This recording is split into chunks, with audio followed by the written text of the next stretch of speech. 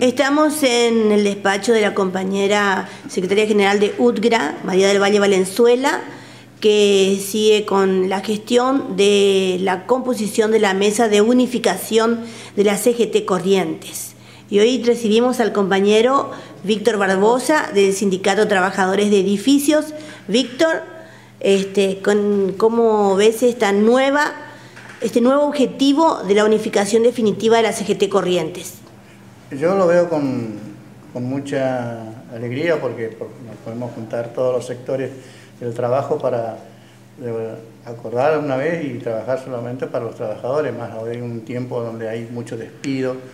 donde la precarización también del trabajo, eh, donde el salario ha bajado y,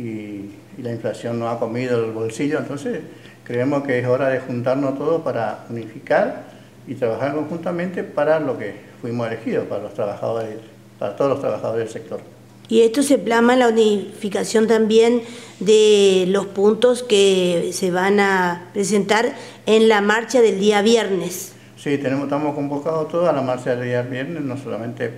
para protestar por la inflación o el trabajo, como te había dicho, sino también para hacer un poco de presión, diría yo, para que el gobierno una vez mire también a los trabajadores como así ha mirado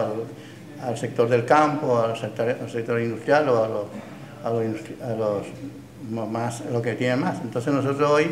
nos convocamos, en Buen- eh, nos vamos a convocar en Buenos Aires para poder hacer una marcha conjunta con todos los sectores de los trabajadores y todos los que quieran venir, por supuesto, a apoyarnos.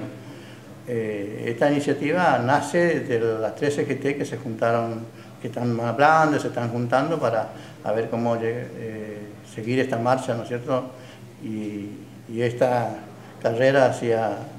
hacia un futuro mejor para los trabajadores, porque hoy estamos precarizados, como todos dicen. Muy bien, muchas gracias compañero Víctor y ya está firmado el documento de la mesa de unificación de CGT Corrientes.